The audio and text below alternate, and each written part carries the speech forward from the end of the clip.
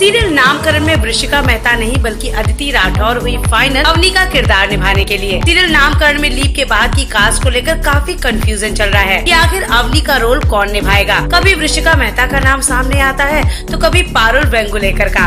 लेकिन अब फाइनल खबर आई है की इन लोगों में से कोई नहीं है जो अवनी का किरदार निभाते हुए नज़र आएगा। अदिति राठौर को मेकर्स ने फाइनल किया है अवनी के किरदार के लिए। अदिति ने इससे पहले कुमकुम भाग्य और एक दूजे के वास्ते जैसे शो में काम किया है, और लोगों ने उनकी एक्टिंग को पहले से ही काफ़ी सराहा है। इससे पहले वो एक के वास्ते में निकिता दत्ता की छोटी बहन का किरदार निभाते नज़र आई थी। शो की बाकी की कास्ट जो अब तक फाइनल हुई है, वो है गौतम विज अली के किरदार के लिए। नलिनी नेगी प्ले करेंगी रिया का किरदार। शो में फ़िलहाल तो अवनी अपने भाई अमान को लेकर दयावंती से भागी हुई है, लेकिन दयावंती ने फिर से अपनी चाल चलकर उसको पकड़ लिया है। आशीष भी अवनी के खिलाफ हो चुका है, क्योंकि दयावंती ने आशीष के दिमाग में ये भरा है कि अवनी ने ही अपनी माँ आशा का खून किया है। अब देखते हैं कि ये कहानी आगे क्या मोड़ लेती है, और लीप के बाद कहानी में क्या नए ट्विस्ट एंड टर्न आते हैं। सीरियल नामकरण में वृशिका मेहता नहीं, बल्कि अदिति राठौर हुई फाइनल अवनी का किरदार निभाने के लिए। सीरियल नामकरण में लीप के बाद की कास्ट को लेकर काफ़ी कंफ्यूजन चल रहा है कि आखिर अवनी का रोल कौन निभाएगा? कभी वृशिका मेहता का नाम सामने आता है तो कभी पारुल बेंगुलेकर का।